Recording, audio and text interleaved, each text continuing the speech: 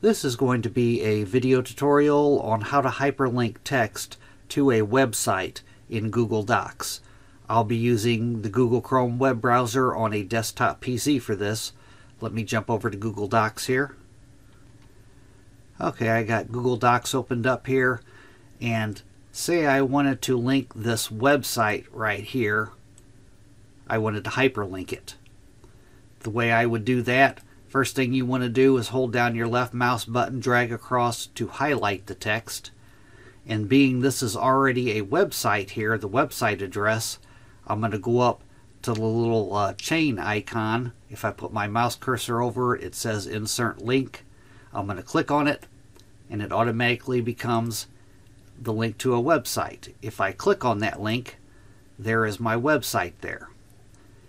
Say that this was not correct, I could always, uh, it gives you three options, options. You can copy the link to your clipboard, you can edit the link, or you can remove the link. I'm going to click on edit link and right here is my website address link right here. I could alter that if I want by clicking in this box. I could alter it. Uh, another thing you could do, I'm going to click off it here. I'm going to click back on it. I can remove the link by clicking on there. Now it goes back to just plain text.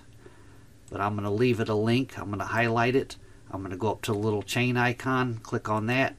It automatically becomes a website link. Now say, I'm going to scroll down a little here.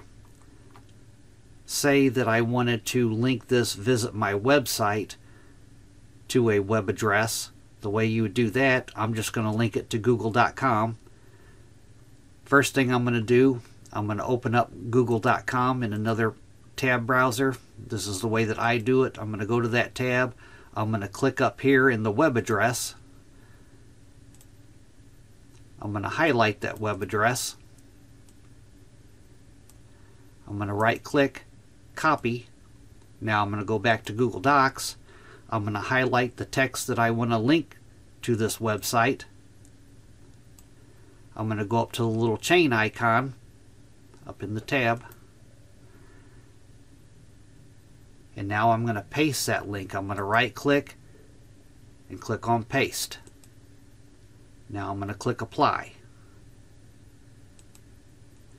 Now I have linked this text to google.com. If I click on it, there's my link right there. I'll click on that link.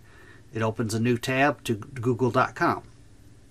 But that is how you hyperlink text to a website in Google Docs. Thanks for watching.